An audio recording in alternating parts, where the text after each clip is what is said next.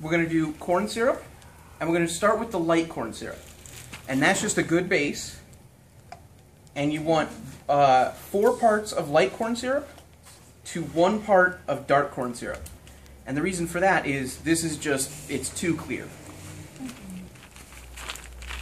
Yeah, come on, grab it. Could somebody grab her a chair? It's fine, I can stand. You don't want to stand the whole. Four parts of clear syrup, one part dark syrup. I'm just going to eyeball that.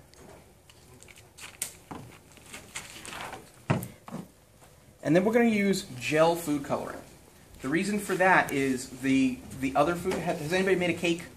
I have. Have you made it like red or green or fun colors? Yes. It's like a liquid, right? Mhm. The food coloring. Yeah. If you add that to this, it's going to start to water it down.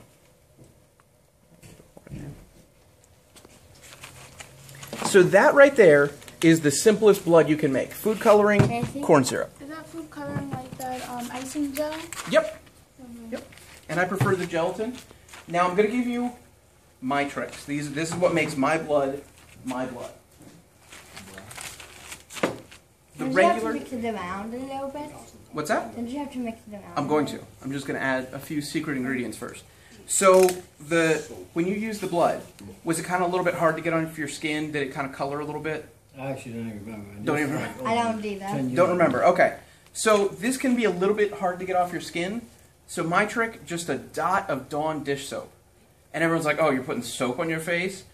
This is the same stuff that they use to clean animals after oil spills. So it's perfectly fine to get a little bit. You don't want to get it in your eyes, but you also when you're going to put blood in your eyes, you know. This is the one you don't have to add. It's just something that I like to do. This is called cinnamon leaf oil. And this you can, It's you know it? small. Yep, yep. We're only going to use one drop of this because this is really potent stuff. And expensive. Oh, this little jar was maybe like seven dollars.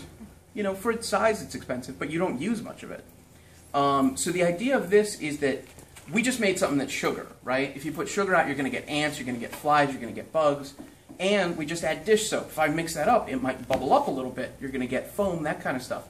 This stops both those things. It's an antibacterial, antifungal, antimicrobial, anti-insect, anti-foaming agent. So this is like wonderful little stuff. So if you're taking a bubble bath, and or if, if say like you have a, a relative like brother sister taking a bubble bath, you put a drop of this in the bath, no more bubbles. It's kind of evil, right? We're gonna mix that up.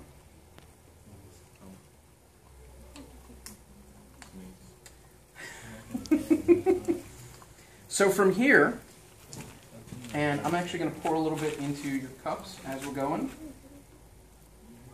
Wow. And the darker it is, the Why? less it's going to show up.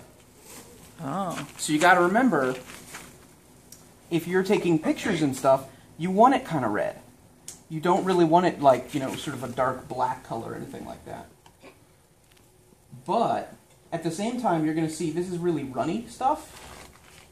And we have a trick for that too. Thank you. Can I have your cup?